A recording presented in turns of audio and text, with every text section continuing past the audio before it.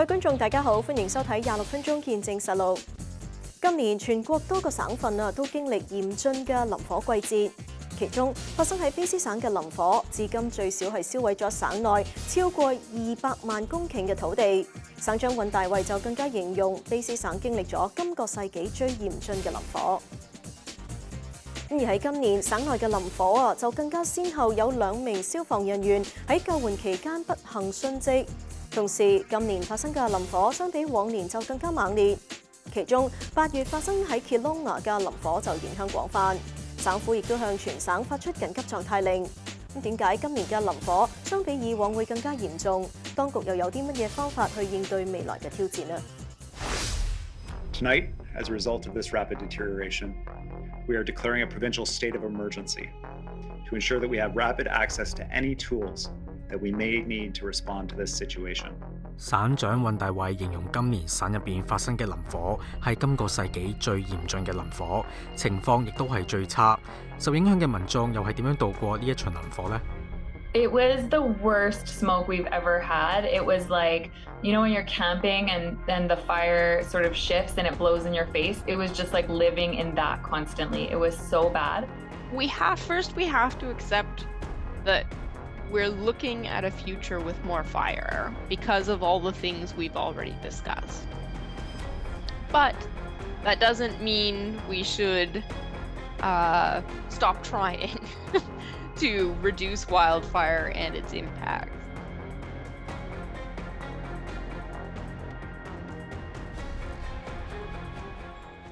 今年全國多個省份發生嘅林火都觸目驚心，其中今年夏季發生喺卑斯省嘅林火，比往年嘅嚴重程度較高。根據卑斯林火服務處截至十月底嘅數字顯示，今年全省一共錄得超過二千二百四十宗林火，而卑斯省今年其中最令人關注嘅林火發生喺 Okanagan 地區靠近 Kelowna 一帶，同埋 Suswap 地區。林火喺一夜之間因為受風向影響，火場面積擴大近六倍，令火勢一發不可收拾。喺八月十八號傍晚時分，卑斯省長尹大衛聯同應急管理及氣候準備廳長馬博文舉行記者会，宣布卑诗省进入紧急状态。 Just the last 24 hours, the situation has evolved and deteriorated quite rapidly. In just the last hour, we've gone from about 4,500 homes under evacuation to about 15,000 homes, families being evacuated from their homes across the province. We have tens of thousands more across the province on evacuation alert. Tonight, as a result of this rapid deterioration, we are declaring a provincial state of emergency to ensure that we have rapid access to any tools that we may need to respond to this situation. And these tools are necessary to support communities, to support families, and support those brave frontline workers who are battling the fires in our forests and in our communities. 喺八月喺 Oganagan 地區發生嘅林火，受強風影響，火場一度靠近民居十公里，一河之隔就係 Kelowna。住喺嗰度嘅 Juliana Lewin 憶述當時嘅經過，佢話至今仍然記憶猶新。So we did not live um, close to the fire, but my brother and all of our friends live like right where that fire started. And so immediately when we were realizing, okay, this fire is getting out of control, it was super windy that day. Um, it was the perfect conditions for that fire to get out of control with how dry it was and just the wind. And so I was talking to my brother, and we're all just kind of watching it once it had jumped the lake. Um, yeah, that was such a residential area. And I have lots of friends even who lived in that neighborhood who were on vacation. And I was just messaging them like, do you have a neighbor who can grab, uh, you know, your your belongings that you can't live without kind of thing? And um, we had three families evacuate to our house just to get out of that danger zone. For us, it was um, my brother, first of all. They were like, we can see flames from our house, so we're going to come and just get out of here now. I think they even left before the evacuation order started, but they were like, we can see the fire, we need to get out of here. Um, and they have a little girl, so they just didn't want to be like waiting through the night and having to wake up every hour and be like, okay, what's the status? Um, and same with, we had three other families that were friends that were like, it was getting late at that point. They're like, we don't want to have to leave at two in the morning. We're just going to come now and get out of first responders' way. So we did that, but we also like because we have a suite and we have extra bedrooms, and so we were just messaging out like if anyone needs a place to stay, like spread the word. A lot of it was done over social media and Instagram, and just saying like, okay, you get a text from this person, like for example, the people who were trapped in the water. Well, I have a friend who owns like a boat company downtown, and so it was like, okay, can you send your boats out to like go and um, see if you can help the people who are trapped in the water by Traders Cove and everyone was just kind of communicating on social media and trying to get all the information together. 不过，由于受到强风嘅影响，林火烟雾渐渐开始飘到 Juliana 嘅屋企附近。最后佢同佢嘅丈夫选择去到亚省卡加利暂避。It was the worst smoke we've ever had. It was like, you know, when you're camping and then the fire sort of shifts and it blows in your face. It was just like living in that constantly. It was so bad. Um, so three days of that, and we were like, we can't do this anymore. So my husband and I are both teachers, so we're off for the summer. So we just left for Calgary. We just got in our car and drove away. And by the time we got to Calgary, it was it was blue sky, and we stayed on a friend's farm. Um, and we just had like our a box of stuff that if the fire did actually get to our house, someone could grab it. But we weren't too worried about that. But the smoke was awful. And I just was worried about like the kids and their little lungs and that kind of thing. So we just got out of town. 喺今年六月，联邦下议院通过 C 十八法案，即系线上新闻法，规定 Facebook 母公司 Meta 以及其他互联网公司必须向新闻媒体 繳交一定嘅費用，先至能夠轉載內容或者提供相關連接。Meta 隨即喺社交平台取消加國新聞服務，以回應聯邦政府嘅措施。咁意味住本國國民唔能夠透過 Facebook 或者 Instagram 傳取加國嘅新聞內容。喺今年能火季節期間，唔少受影響民眾都未能夠獲取即時信息。總理杜魯多亦都就事件批評 Meta 冇將公共安全放喺第一位。卑斯林木廳長賴志純 Bruce Ralston 就話：省府已經有兩手準備，將實時資訊發放俾民眾。Well, I, I agree with you that uh, Premier Eby and indeed the Prime Minister both um, expressed a concern that the position taken by uh, uh, some of the social uh, networks, uh, such as uh, Facebook, um, have really limited the flow of information that people have become accustomed to over in recent years and they have expressed a concern that that those corporations may be putting their business interests ahead of public ahead of public safety. Uh, and uh, the Premier Eby was very clear about that. So uh, if, if you're asking me whether I agree with that, I do agree with it. But what I want to say is that there are, uh, and I think media outlets like yours are also stressing that people can go directly to you or directly to BC Wildfire Service, the app, to find out that information. They can't necessarily get it in the way that they could before because of the decision made by those big corporations. But uh, I, I, think going forward, uh, we want people to have easy access to critical information that affects public safety. And that, uh, given what has taken place uh, with uh, Uh, uh, Facebook and others, uh, that, that will be the way forward unless there's a change there. We have experienced some challenges. Obviously, with the bill that you referenced, I, I know that uh, the the elected government right now has did make a pitch to, to Ottawa this summer in terms of trying to to get rid of that or, or change it from an emergency perspective. That that obviously wasn't successful. So for us, it was really trying to drive people to our website, trying to drive people to our application, which is just BC Wildfire app in either of the app stores we are populating that information hourly, uh, minute by minute, if the changes need to be updated that quickly. And that is where we tried to drive BC to go and pull relevant fire information, whether it was our Fires of Note page on bcwildfire.ca. Uh, we now have a YouTube channel.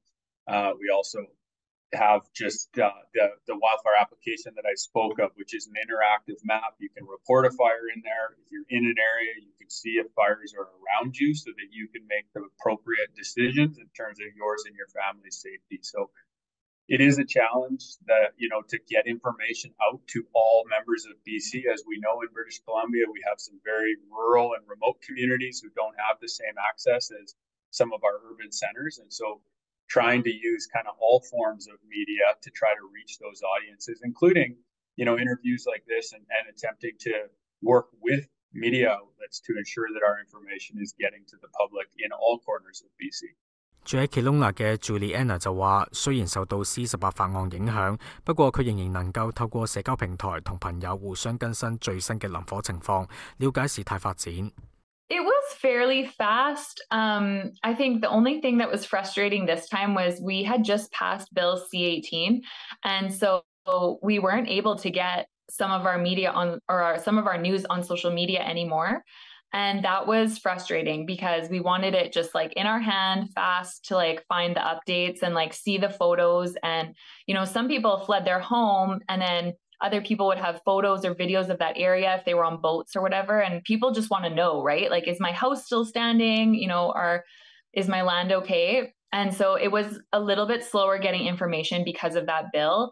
We were a little bit frustrated by that. I mean, if we went directly to their websites, then we could get the news, but it was just annoying because we're used to this fast, like, you know, just having it on Instagram or t- Twitter or whatever, and we just couldn't do that anymore. So it was a bit slower. 喺 Kelowna 发生嘅林火至今已经三个月，当地嘅林火已经喺较早之前受到控制，并且开展咗修复嘅阶段。I think we lost just under 200 homes, and Kelowna builds about 1,600 homes a year. So to add 170 more or whatever it is, I don't think that the building process will be slowed down very much. Um, we've got a lot of trades here in the valley. But the one thing that I have heard is that people trying to rent in the meantime, so let's say their house burned down and now they need a rental, um, it's very hard to find a rental in Kelowna, especially a good one. I think a lot of people who lost their homes um, on Westlake Road, it was like beautiful homes and people who are used to a very nice standard. And there just aren't a lot of homes for rent. Um, so that was one thing I heard was that people were finding it a little bit difficult to find places to rent while they're rebuilding. I just talked to my cousin about this last night because he's uh, one of the firefighters. Actually, this is his first year um, doing firefighting, and so he was deployed. He said right now all they're doing is going around checking hot spots and like little, yeah, basically hot spots, putting them out. So we don't have any smoke anymore. Up until about a week or two ago, we still did, but we've had some rain lately, and so um, they're very under control now. 今年嘅林火相比往年更加猛烈，咁究竟係乜嘢原因導致林火一發不可收拾啦？而氣候變化又帶俾我哋啲乜嘢啟示啦？下一次翻嚟再睇。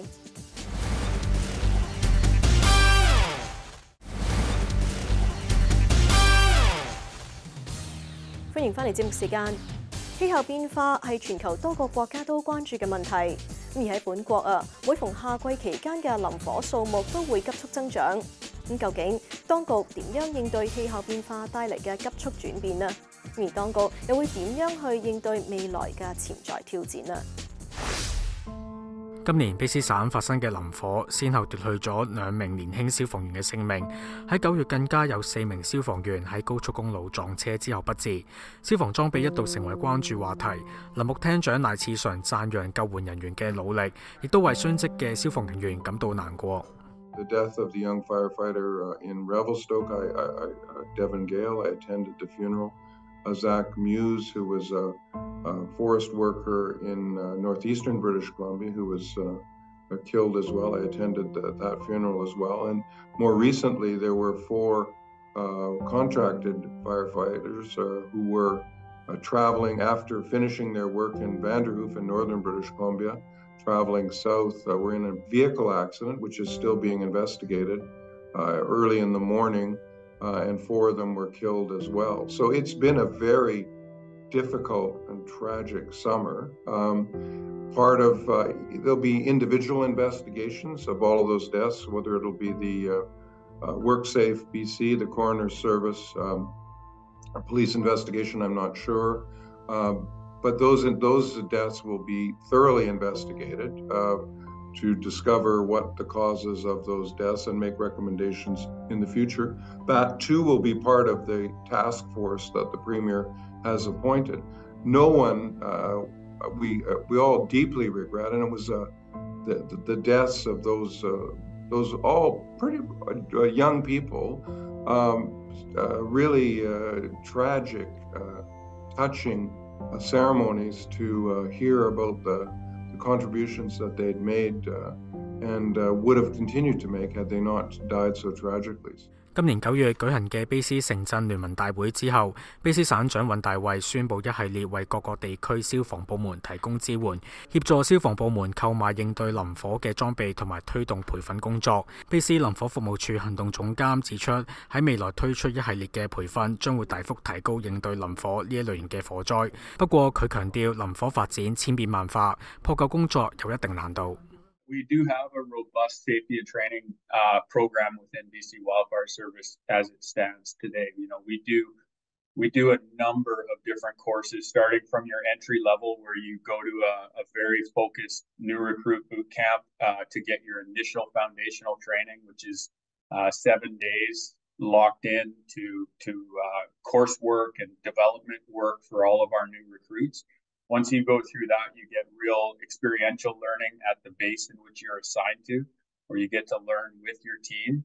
And then there's countless courses on top of that sort of experiential learning, whether it's danger tree assessment, whether it's our falling and chainsaw certifications, our incident command system training, which is like logistics, plans, operations, incident commander. So you know, to be to be really frank, we have hundreds of courses within BC Wildfire Service that were built to keep our people safe and give them the give them the knowledge they need to make the decisions on the land base to keep them and their people safe. Unfortunately, again, sometimes the conditions are such that uh, even with all precautions being taken, there is still risk that can't be fully mitigated. And so, our, our goal is to mitigate all the risks that can be mitigated uh, and realize that you know when people are out fighting fire and they're on in these dangerous situations that they are supported to make the decisions they need to to keep themselves and their crew safe 近年全球多國都面對住氣候變化嘅問題。根據卑斯省府嘅數字顯示，今年因為天然因素，包括閃電導致林火發生佔七成二，其他原因就涉及人為同埋未明嘅因素。卑斯大學醫學院副教授兼卑斯疾控中心高級研究員 Sarah Henderson 認為，今年林火特別嚴峻係由於卑斯省今年經歷乾旱天氣，再加上地形因素，助長咗林火嘅增加。So, when we're talking about wildfire risk, climate change has an important role to play, but we also have to consider historic forest management practices. When Canada was first settled by Europeans, uh, we started putting out wildfires because they are inconvenient. They burn down things that we don't want to be burned down. But prior to settlement, Canada was a very naturally flammable landscape where wildfire would move through the forest, in many cases every 30 years or so. So, by suppressing wildfires for decades and decades, we have led, it has led to an accumulation of fuel on that flammable landscape. So we just have a lot of fuel sitting on the land. Now, that fuel bubble or carbon bubble, as we call it, is starting to intersect with these other climate drivers. So, like I said, the drought, the hotter weather, and the windier conditions. So, we have all of that climate stuff happening, all of that fuel sitting there. And as a result, we're seeing these severe seasons. Henderson 又话：虽然林火季节初期唔少成因系因为人为导致，但再加上气候变化同埋周围环境因素，将林火面积大幅扩大。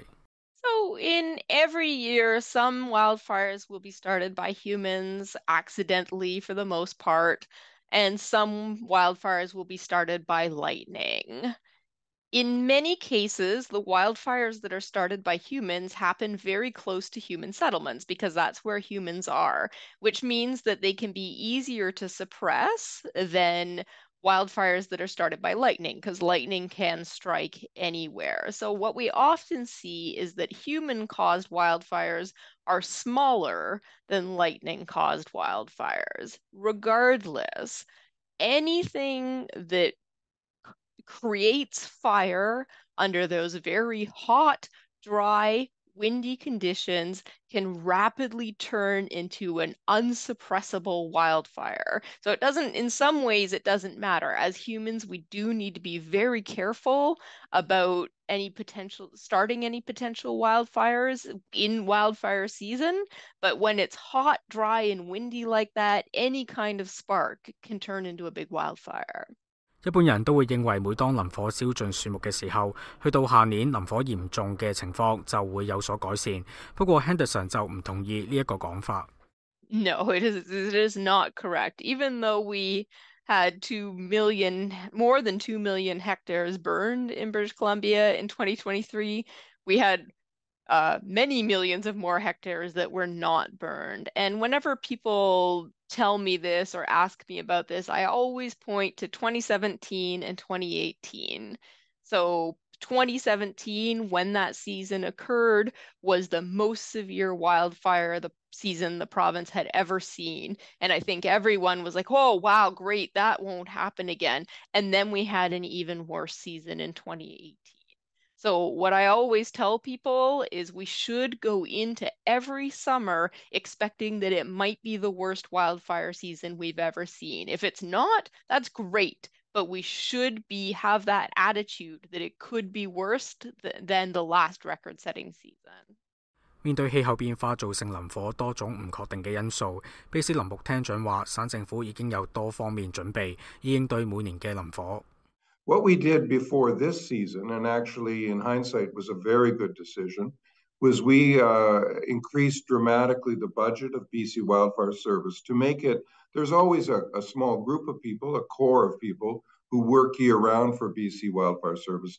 This year, we expanded the number of people who work for BC Wildfire Service year round.